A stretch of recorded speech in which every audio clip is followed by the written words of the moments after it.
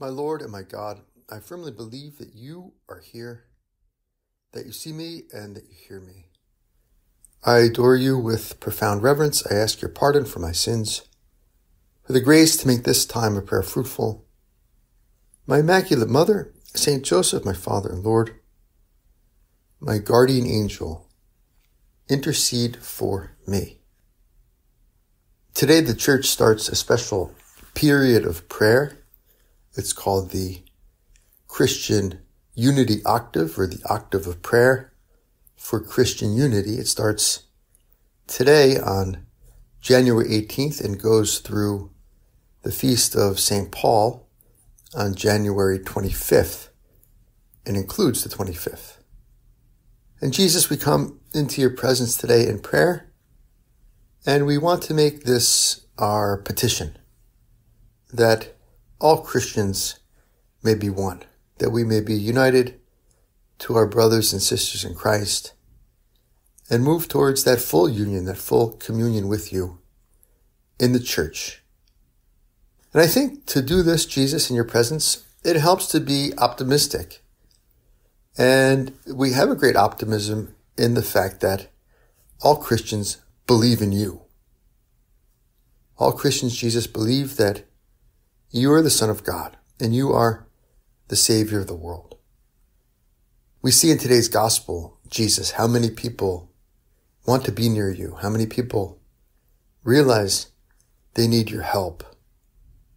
And this gives us hope that we can spread the faith and we can overcome differences in the faith.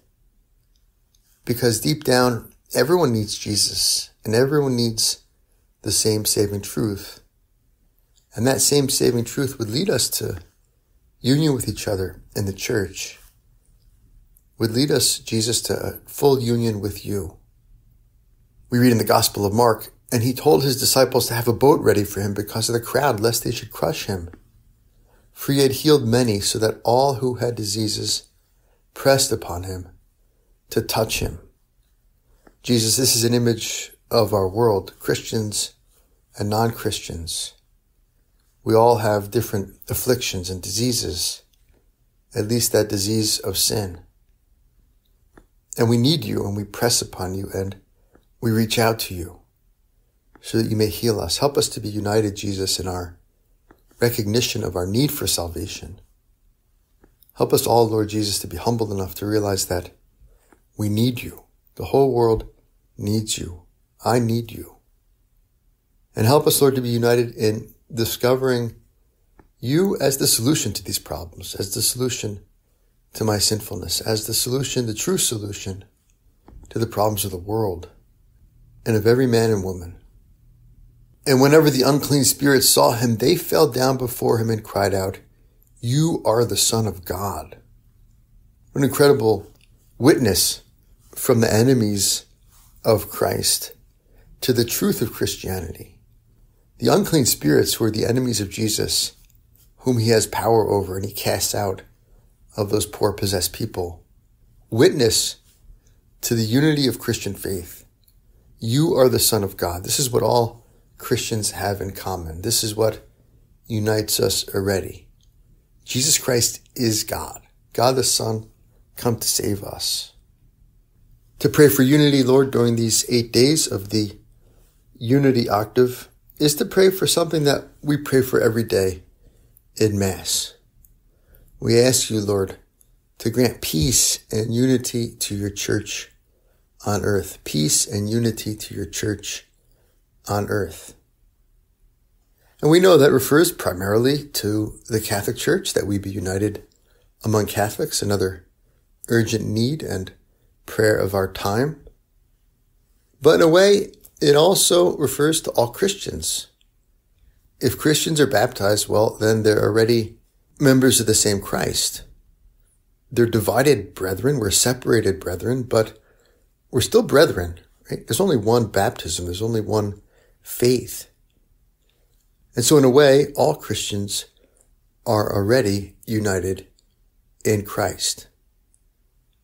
Those ecclesial communities, those separated brethren of ours, are united by baptism in Christ. We are united to them by our baptism in Christ and by the faith that we already share. Faith in you, Lord Jesus.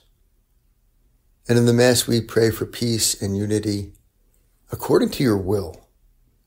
And that will was expressed by our Lord very explicitly in the Gospel of John, chapter 17, at the Last Supper. That they may be one even as we are one. The glory which you have given me, I have given to them, that they may be one, even as we are one, I in them, and you in me, that they may become perfectly one, so that the world may know that you have sent me and have loved them, even as you have loved me. Jesus, this is your prayer to the Father, that we may be one, that we may be united. And we take that prayer of yours, Jesus, and we make it our own prayer to you.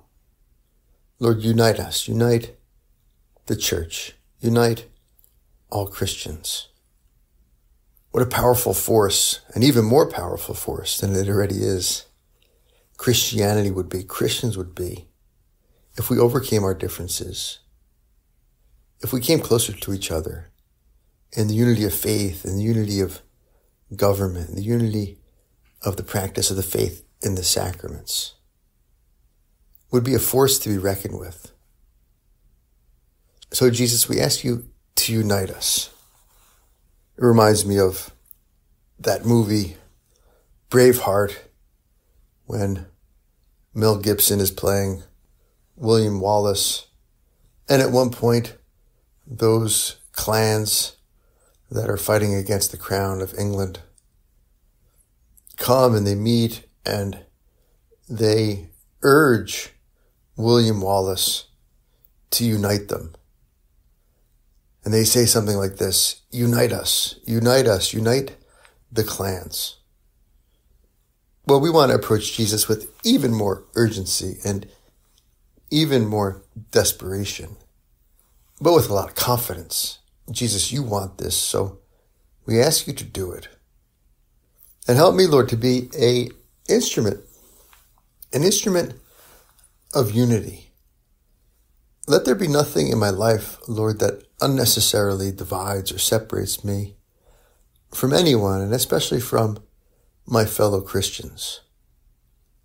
Help me to be a bond, a bond of charity and connection and faith between the church and everyone else, and especially, and especially our separated brethren, my fellow Christians. Lord, live through me. Make this desire of yours that we be one, my own. Love those members of your body who don't have full membership with the church.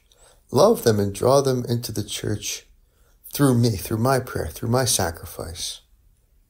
Through my prayer this week, this octave of Christian unity.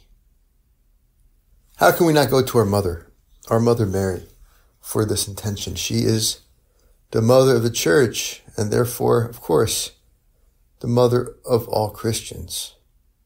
And isn't that what mothers want? Peace among their children. How much do sibling rivalries or dissension or fights among siblings hurt a mother's heart?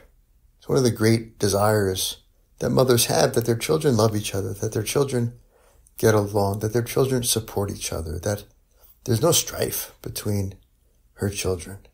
And Mary's the same way. Mary, Mother of the Church, pray for us and help us to do that apostolate ad fidem, that apostolate towards the faith. Help us to be people who love enough to care enough about bringing people closer to the church. Our Lady Mary, Mother of the Church, Mother of all Christians, pray for us. I thank you, my God, for the good resolutions, affections, and inspirations which you have communicated to me in this meditation.